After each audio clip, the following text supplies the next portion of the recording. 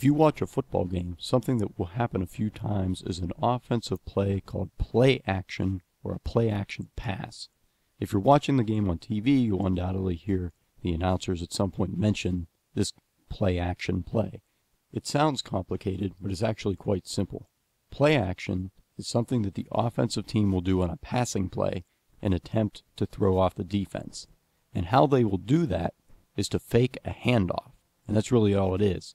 Play action is just another term for a fake handoff before the team passes, or at least attempts to pass the ball. So the quarterback will receive the snap from the center. He will turn around as if it is a running play.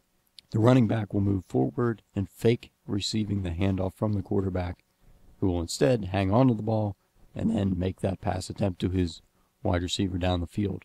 The reason the offensive team is doing this is to throw the defense off for just a half a second because if the defensive backs see the handoff, they'll likely abandon whoever they are covering and instead run up and try to tackle the running back.